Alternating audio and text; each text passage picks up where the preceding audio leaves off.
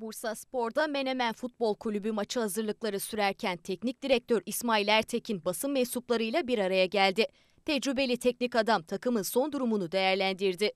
Bir ilki gerçekleştirmeye çalışacağız. Şu ana kadar çalışmalarımız oldukça iyi. Geçen haftadan da 3 puan alamasak da oyun olarak e, belli bir şeyi gösterdi, mücadeleyi gösterdiğimizi düşünüyorum ben.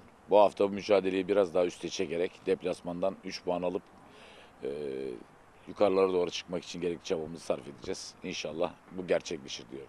Hasan'ın oynama durumu e, yok yok tabii bu maç itibariyle. E, zaten e, Eren Güler biliyorsunuz öyle bir şansı yok.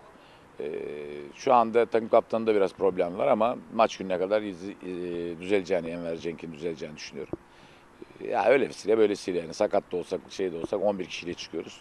E, sakatların e, bahanesine e, güven, şey yapmamız, güvenmememiz lazım. Çıkıp 11 kişi oynadığımıza göre gerekli mücadeleyi vermemiz lazım. Bursaspor gerekli mücadeleyi verdiğinde Bursaspor'un oyuncuları e, puanları alır gelir diye düşünüyorum. İnşallah bu da e, bu deplasmanla beraber gerçekleşmeye başlar. Geçen haftaki mücadele gücümüzü ortaya koyduğumuzda neler yapabileceğimiz ortada. Geçen hafta kaybedebilirdik belki ama e, saha içindeki mücadelemizi üst seviyeye çıkardık.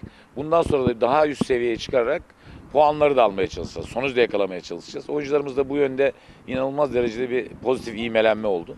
Bu arada da e, mentor desteklerin mentor desteğini de alıyoruz. Oyuncularımızı da hem psikolojik hem de e, fiziksel olarak daha iyi hazırlamaya çalışıyoruz.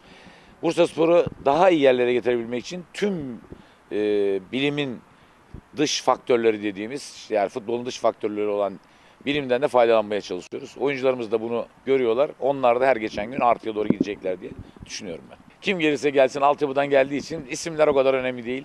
Bugün Melih, e, yarın başka birisi. E, Her geçen gün birileri daha gelecek. Önümüzdeki günlerde de gelecek. Neden?